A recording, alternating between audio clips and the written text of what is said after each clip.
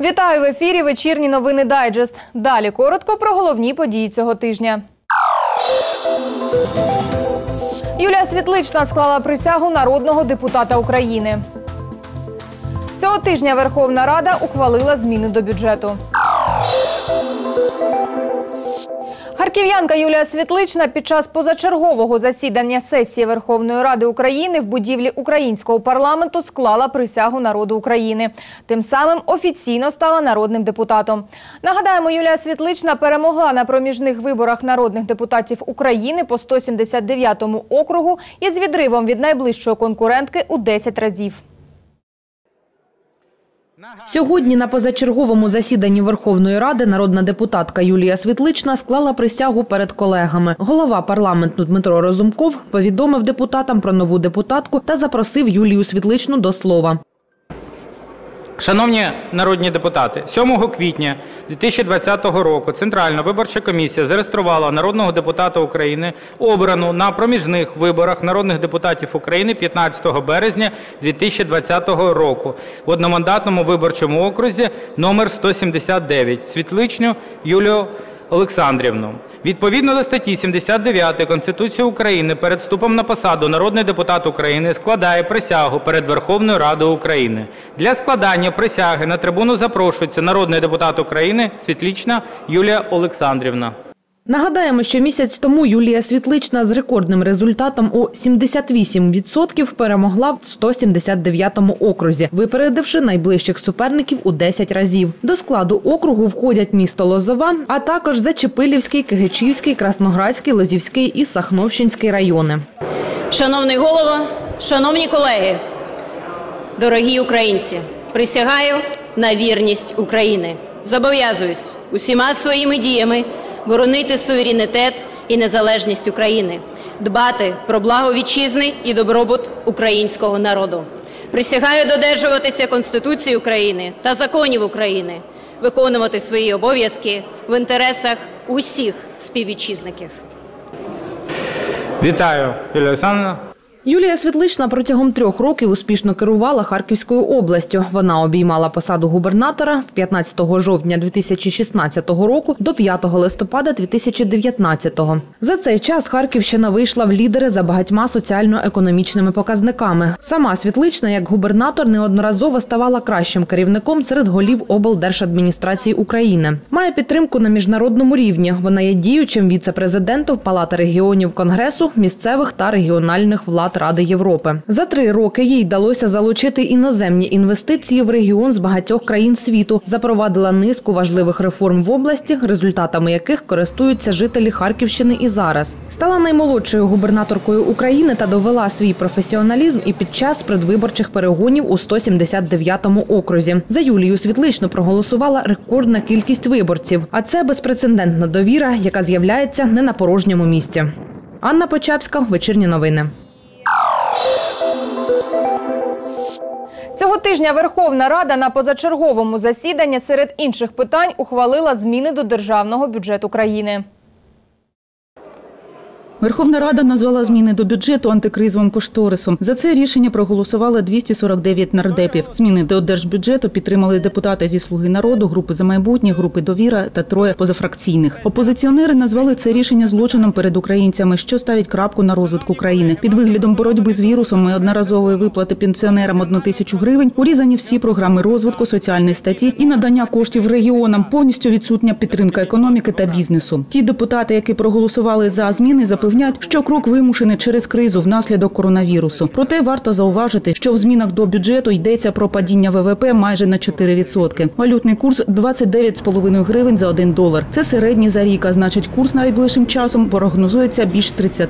Дефіцит держбюджету збільшено в три рази з 96 до майже 300 мільярдів гривень. Покриття планується за рахунок позик. Фонд по боротьбі з коронавірусом зменшений зі 120 мільярдів в попередньому проєкті бюджету до 64 в прийнятому. На більш ніж 8 мільярдів зменшена програма субсидій по послугах житлово-комунального господарства. На 1,3 мільярди зменшені програми по виплатах соціальної допомоги. Скасована програма іпотечних кредитів і придбання житла для переселенців. Заходи по реабілітації інвалідів. Зменшено фінансування соціальної підтримки вчителів на півтора мільярди гривень. Нова українська школа втратила 360 мільйонів. Фінансування медичної освіти зменшено на 263 мільйони. Фонд з підтримки освіти, науки і спорту повністю анульовано фінансування. Також більше не фінансується фонд з підтримки вищої освіти та фонд підтримки наукових досліджень і розробок. Заходи щодо поліпшення екології зменшено майже на півмільйони та розвиток лісового господарства на 122 мільйони. Програми фонду енергоефективності втратили більш ніж півтора мільярди гривень. Таким чином вона більше не фінансується. Фонд регіонального розвитку зменшений на третину. Це мінус 2,6 мільярди. Повністю знята субвенція для розвитку ОТГ. Субвенція на соціально-економічний розвиток мінус 300 мільйонів. Загальне скорочення субвенцій в регіони становить близько 10 мільярдів гривень. Для Харківської області вперше за останні роки немає окремих програм фінансування у держбюджеті. У той же час для Київської, Дніпропетровської, Одеської, Львівської, Миколаївської, Полтавської областей окремі проекти програми розвитку в держбюджеті залишили. За словами фахівців, це в першу чергу говорить про відсутність авторитету сьогоднішнього керівництва Харківської області.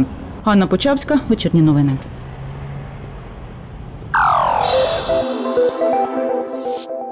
У районних адміністраціях спростували слова Кучера про побоювання проведення березневих виборів. Нагадаємо, перед самими виборами на 179-му окрузі губернатор Харківщини заявив про доцільність скасування виборів через занепокоєння місцевих адміністрацій ситуацією з розповсюдженням коронавірусу в регіоні. Між тим, на момент цієї заяви, як і в день проведення виборів, в області не було зафіксовано жодного офіційно підтвердженого випадку інфікування COVID-19. Журналісти видання Вечірній Харків перевірили слова голови області про те, що районні адміністрації нібито зверталися до нього з побоюванням через проведення березневих виборів. 12 березня цього року, за три дні до виборів в Харківській облдержадміністрації, відбулося засідання регіональної комісії з питань техногенно-екологічної безпеки та надзвичайних ситуацій, під час якого члени комісії під керівництвом Олексія Кучера ухвалили низку рішень з метою протидії поширенню коронавірусної інфекції COVID-19. Серед рішень, які фігурують в протоколі комісії під номером 14, бачимо доручення голові апарату облдержадміністрації в контексті проведення виборів на 179-му окрузі. Згідно з документом, чиновнику доручили підготувати звернення до РНБО і ЦВК щодо проведення виборів в умовах карантину, посилаючись на низку звернень глав районних адміністрацій і органів місцевого самоврядування. До вибори, як правило, відвідують, відвідує менша кількість осіб. Але якщо навіть це буде 45-50 тисяч, це велика кількість осіб, яка буде переміщуватись. Е, Чому я піднімаю це питання, чому воно було підняте е, керівниками районних, районних державних адміністрацій? Тому що члени е, виборчих комісій вже зараз звертаються, що їм робити. І деякі з них, наскільки відмова, відмовляються приймати участь у виборах, тому що вони розуміють, що на одній дільничій виборчій комісії може пройти біля двох тисяч осіб, а це все контакти. В той же день на брифінгу Олексій Кучер повідомив журналістам, що з огляду на ризики люди відмовляються працювати, а багато райдержадміністрацій піднімали це питання. Також голова облдержадміністрації заявив, що з огляду на побоювання районних адміністрацій та членів виборчих комісій в керівництві області прийняли рішення направити відповідне звернення в РНБО і ЦВК. Журналісти вечірнього Харкова звернулися в кожну з адміністрацій районів, які згадуються в документі, з питанням про те, чи були дійсно такі звернення, і чи дійсно в районах висловлювали побоювання з приводу проведення та організації виборів на території 179-го округу. Виявилося, що ні один з п'яти районів, які фігурують в тексті рішення комісії, насправді не звертався до керівництва області щодо організації процесу виборів в умовах карантину. Це ж підтверджують і в самій Харківській обласній державній адміністрації, офіційно відповівши на наш запит, що ніяких звернень з боку районних адміністрацій виконавчої влади, а також органів місцевого самоврядування з приводу організації виборів в умовах карантину не було. Виходячи з цього, журналісти видання сподіваються отримати відповіді на низку питань від самого Олексія Кучера. Зокрема, цікавляться, хто саме за яких обставин і з якою метою вніс пункт 14 у вищезгадане рішення комісії. На чому ґрунтувалася комісія, вносячи в пункти звернення від районних адміністрацій, яких в реальності не існувало. Ініціатори розслідування чекають і на правову оцінку викритим фактам від Офісу Генерального прокурора України, а також Державному бюро розслідувань. Світлана Сухомлин, вечірні новини.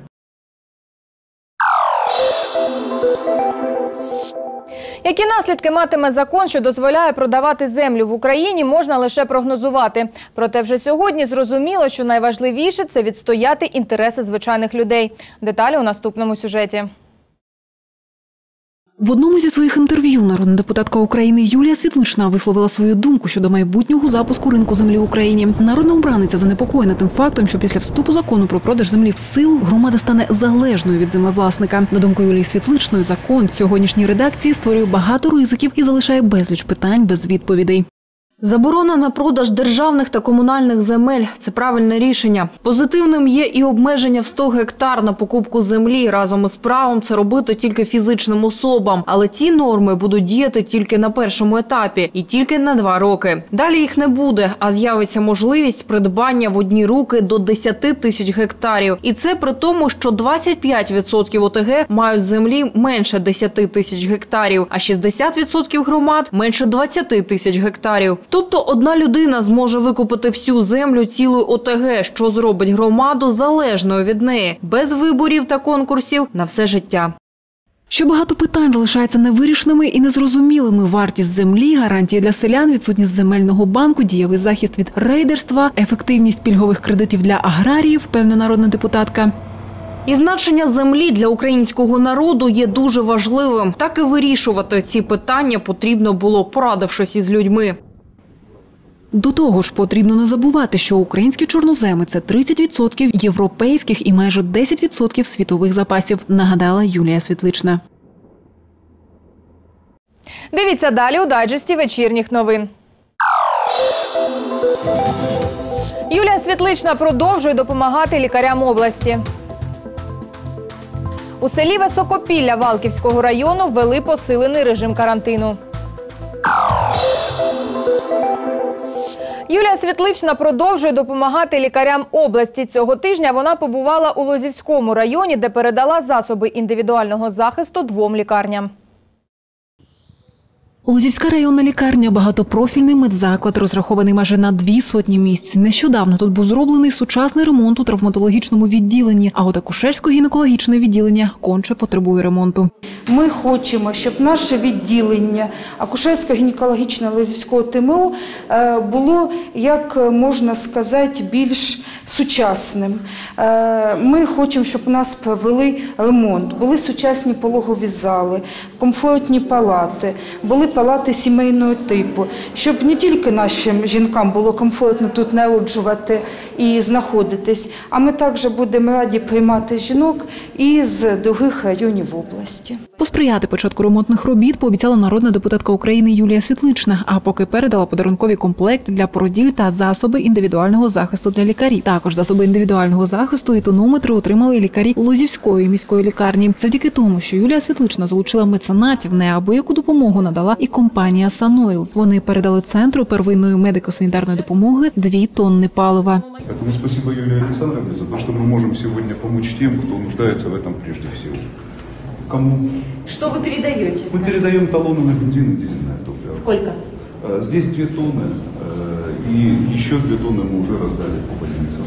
А, В среднем у нас расход бензина идет где-то тонна э, в месяц. Это мы обслуживаем 22 э, ФАПа и 16 амбулаторий. То есть это будет большая нам помощь, э, финансовая прежде всего. Почему? Потому что ну, э, э, район большой, население у нас почти в районе его ТГ 92 тысячи, и не каждый нуждается в медицинской помощи. У нас были самые отдаленные амбулатории находятся в 70 километров от Лозовой. И туда добраться, и там, чтобы была машина, и всех надо заправлять, тем более во время карантина. Это очень актуально. Большое спасибо. На думку голови ради директорів компанії Санойл, бізнес має допомагати лікарям у такий непростий час. С моей точки зрения, бизнес это не только за деньги, да, это не только ради заработка. Бизнес это прежде всего сохранение рабочих мест, это, наверное, основная задача, первый приоритет бизнеса. А вторая это помощь тому, кто в этом нуждается. И спасибо большое Юлии Александровне за то, что у нас была такая возможность помочь тем, кто нуждается в этом в первую очередь. Нагадаємо, допомога лікарям Юлією Світличною триває постійно. Ще за часів її каденції на посаді губернатора Харківщини вона зробила чимало для медзакладів області. Сьогоднішнє ж керівництво області цю роботу не проводить, що неприпустимо, підкреслює народна депутатка. Вот Лозовой, который проживает э, более 90 тысяч людей и обслуживаются в том числе и в больницах и поликлиниках, очень много проблем. Последние три года мы системно подходили к ремонту э, больниц. Мы предоставляли медицинское оборудование, качественное, современное, для того, чтобы больницы могли э, обеспечивать э, качественно проводить обследование жителей. А сегодня, на сегодняшний день остаются проблемы в медучреждениях и нужно продолжать ремонты. Депутатка планує і надалі забезпечувати працівників медичної сфери життєво необхідними сьогодні засобами індивідуального захисту. Юлія Котелевська, Дмитро Позняков. Вечірні новини. У розпал пандемії коронавірусу народна депутатка України Юлія Світлична продовжує допомагати тим, хто цього потребує. І це стосується не тільки лікарень та медпрацівників. Панютинський вагоноремонтний завод – підприємство, що займається ремонтом грузових вагонів. Сьогодні переживає не найкращі часи. Робітників залишилося трохи більше ніж півтори тисячі. Коли в країні запровадили карантин, виникло питання пропуску працюючих на вході, зокрема скринінгу температури. Та коли взялися шукати безконтактні термометри, виявилось, що в аптеках їх просто немає. По всім аптекам, і по Лозової, і по Харкову. І на сьогоднішній день я їм телефонувала. Вони сказали, що взагалі по мережі їх немає. Купити термометри можливо було тільки з рук, проте виділити гроші на таку покупку з бюджету підприємства неможливо. Крім того, термометр, який раніше коштував близько трьох сотень гривень, сьогодні продають за дві з половиною тисячі. Я звернулася до нашого секретаря. За її допомогою ми вийшли на помічника, навірно, Юлії Олександровни. е, Про те, щоб допомогли їх придбати. Е, Придбали їх, е, дякуємо їй. Вони надали нам кошти. Тепер на заводі щоденно зранку та ввечері всім працівникам на двох прохідних заміряють температуру тіла. Випадків підвищеної поки не зафіксували. Юлія Котелевська, Дмитро Позняков. Вечірні новини. У Лозові вже незабаром з'явиться зал для занять тайським боксом. Раніше спортсменам доводилось тренуватись у непристосованих для цього виду спорту умовах. Як буде тепер? Дивіться далі. Тайський бокс у Лозовій – популярний вид спорту. У секцію ходить понад півсотні спортсменів віком від 6 до 20 років. Василь Сорокін, чемпіон світу з тайського боксу, свою спортивну кар'єру розпочав саме тут. Когда мы начинали тренироваться, были условия пожестче, да, потом со временем, со временем как бы зал расширялся, Владимир Николаевич, там мой тренер, там э, докупал мешки, благодаря там людям, которым не безразличен спорт, да. Но в любом случае, когда ты начинаешь тренироваться, у тебя есть уже условия, вот, вот такие, как сейчас, то ты высокого уровня добьешься намного быстрее и в комфортных условиях, да. Раніше, розповідає тренер з тайського боксу, тренуватись доводилося в не надто пристосованих приміщеннях. Старші спортсмени тренувались на базі стадіону, молодші ж і взагалі у школі. Когда, получается, делается одно помещение, и дети, и старшие тренируются в зале специализированном, это очень, скажем так, дает рост нашему спорту. Надеюсь, э, пойдет рост и будут какие-то там, конечно, улучшения в наших резу- результатах, потому что зал, когда он специализированный, э, намного и приятнее, и продуктивнее в нем работать. Сьогодні спеціалізований та обладнаний всім необхідним зал вже майже готовий. До відкриття залишилось ще кілька штрихів. Подивитись на нові умови запросили народну депутатку України Юлію Світличну. Вона в свою чергу приїхала з подарунком. Аби тренуватись було легше та веселіше, вона передала до зали телевізор. который, я думаю, что будет вам служить верой и правдой и дополнит. Приятно так вообще и неожиданно. Огромное спасибо вам. Да, ну и правда. Это вам спасибо за чемпионов. Я желаю всяческих спортивных побед.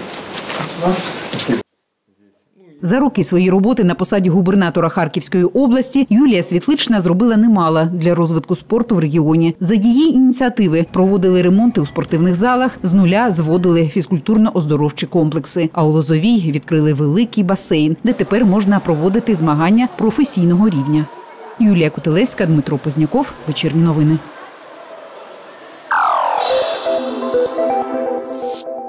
В ніч на четвер на території торговельного центру Барабашово сталася пожежа. Близько півсотні рятувальників брали участь у гасінні. Жертви постраждалих немає. Повідомлення про пожежу у торговельному павільйоні на вулиці Амурській надійшло до надзвичайників близько третьої ночі. Як нам повідомив, це був охоронець е, на даному об'єкті. Він повідомив, що горить полум'ям про- практично повністю охоплена будівля двохповерхова. А також є загроза, перек- ну, що полум'я перейде на іншу споруду, які там поруч знаходиться, де є магазин. Коли прибули наші перші підрозділи, то полум'ям практично все приміщення це е, було охоплено вогнем. На гасіння пожежі направили 11 відділень на автоцистернах. Першими, хто прибув, були добровільні пожежні формування ТЦ Барабашово, які почали локалізувати загоряння. Спочатку був е, звук схожий на вибух, потім е, світловий спалах і загоряння. Цей торговельний об'єкт не здійснював торговельну діяльність вже з початку карантину і був знеструмлений. Загальна площа пожежі склала близько 200 квадратних метрів. Була загроза поширення вогню на поруч розташовані магазини. Там вже розпочиналося горіння. Вже в 3 години 22 хвилини пожежа, е, пожежа була локалізована. Тобто це було е, зупинено розповсюдження вогню на інші е, споруди. І вже в 4 години 31 хвилину пожежа була ліквідована. Хотів би сказати, що при пожежі ніхто не постраждав і ніхто не загинув. Торгівля на Барабашова зупинилася через карантин ще 17 березня. Всі залишили магазини і пішли, каже Сергій Зайцев. Про збитки від пожежі ще зарано говорити. Ось ми бачимо, ну, другі, другі поверхи це, як правило, складські приміщення. Ми бачимо ось тут ось е, кухонне знаряддя, воно е, вщент знищене. А ось поруч зовсім ми бачимо з вами вироби з тканини, які майже не постраждали. Якщо ви поглянете на е, речі, які згоріли, ви побачите, що е, горів алюміній. Уявіть собі температуру. Поліція відкрила кримінальне провадження за статтею умисне пошкодження майна. Санкція статті передбачає покарання у вигляді позбавлення волі на строк до 10 років. Оксана Криченко, Віктор Сєріков. Вечірні новини.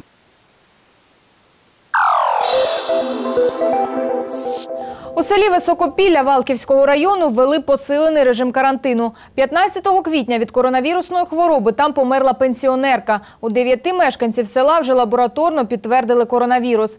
Як зараз живуть у населеному пункті, розкажуть наші журналісти.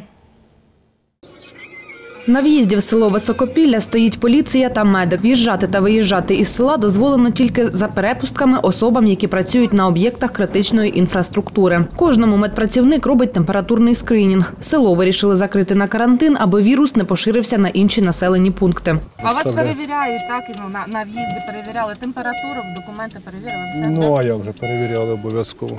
15 квітня померла мешканка Високопілля, у якої вже після смерті діагностували коронавірус. Відомо, що їй був 71 рік. Вона продавала свічки у місцевому храмі. З нею контактувала велика кількість осіб. Як повідомили у Харківській обладміністрації, заразитися коронавірусом жінка могла від місцевого священника, який напередодні їздив на західну Україну. 9 квітня жінку госпіталізували до Валківської центральної районної лікарні з підозрою на пневмонію. Їй зробили два експрес-тести, але вони були негативні. Жінка лежала в окремому боксі. Потім у неї почалася задишка. Її під'єднали до апарату ШВЛ. Наступного дня вона померла. Поховали жінку вчора на місцевому кладовищі.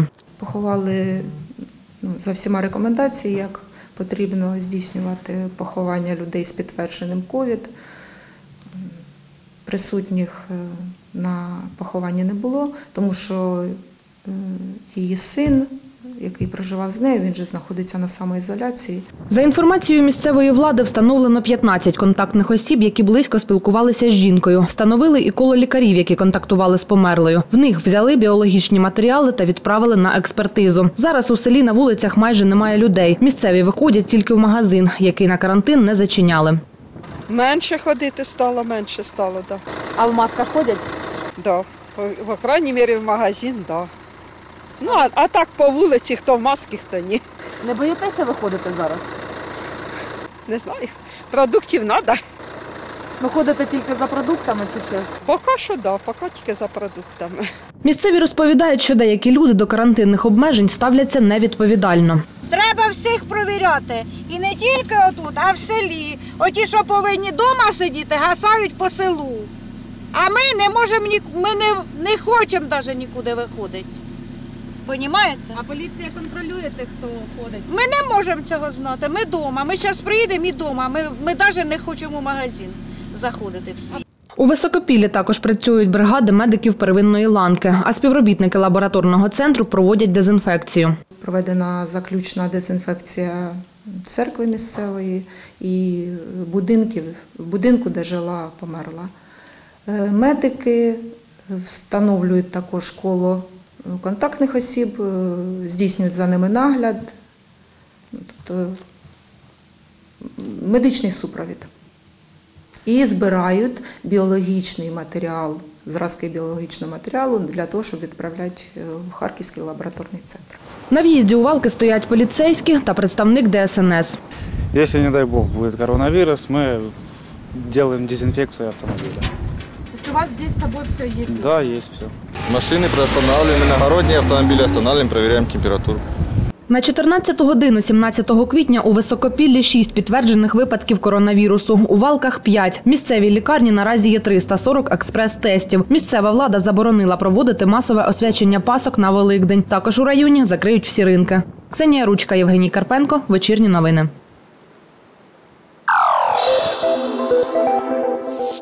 Мешканці Солоницівки самоорганізувались та взялись за самостійну дезінфекцію вулиць та під'їздів. Де брали дезінфектори та що можна робити звичайним людям у ситуації загрози розповсюдження вірусу, дивіться далі в сюжеті. Така саморобна машина сьогодні виїхала на вулиці Солоніцевки із дезінфікуючим розчином. Його розпиляють на дорогах і таким чином сподіваються зменшити рівень загрози розповсюдження коронавірусної інфекції. Ініціатор акції Дмитро Грінвальд розповів, що на такі дії його надихнув приклад Китаю. В інтернеті він побачив, як у КНР дезінфікують вулиці населених пунктів. Поскольку сейчас карантин, мы все равно сидим дома, в данном случае уже почти три недели, вот, и делать, мягко выражаясь, нечего. То есть можно сидеть в Фейсбуке, можно писать, ну, а можно что-то попытаться, ну, хотя бы улучшить. Вот. Поэтому была, пришла идея обработать подъезды, обработать, э, ну, в данном случае улицы. Вот. По подъездам э, первоначально, когда мы только-только э, идея пришла, решили закупать растворы. Вот. Растворы закупить не получилось. Нас подвел, подвел поставщик. Вот. После чего мы ждали несколько недель, пока удалось закупить растворы. Закупал их уже постсовет в данном случае. Вот. Нам закупили растворы, нам закупили э, костюмы, маски и все остальное. И вот со вчерашнего дня мы стали обрабатывать. Ми надаємо е, комунальне підприємство Солоницьке житлово-експлуатаційне господарство їм обладнання, е, е, засоби захисту, розчин дезінфікуючий, а вони просто беруть, одягають ранці із балонами і теж проводять дезінфекцію, допомагають просто безкоштовно, як волонтери працюють. Сьогодні вони надали, у нас, на жаль, немає відповідної спеціальної техніки для того, щоб провести дезінфекцію вулиць. Вони сьогодні нам допомогли, надали автомобіль спеціальний, який має обладнання для дезінфекції. А ми вже е, допомогли їм з пальним і з розчинами для того, щоб. Я вважаю собі, я завжди це казав, і не тільки під час карантину, що якщо буде всі спільно гуртом працювати, тоді будуть результати. Автомобіль активісти зібрали своїми руками. Газель надали друзі. По плану обробити за день 24 кілометри. Опять же, увидели, что ездят большие машины. Но проблема заключается в том, что большая машина, например, сюда заедет с трудом. Вон стоит машина.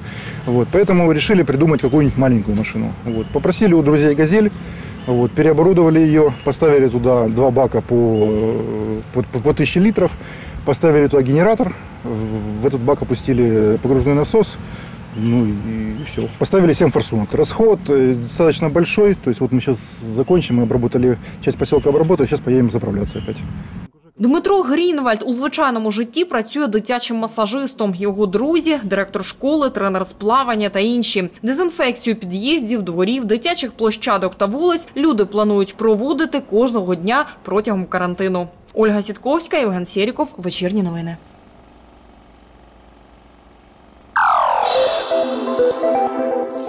На сьогодні все це були вечірні новини Дайджест. Ми продовжуємо слідкувати за подіями, що змінюють нас. А я бажаю вам міцного здоров'я і тільки добрих новин. Побачимось.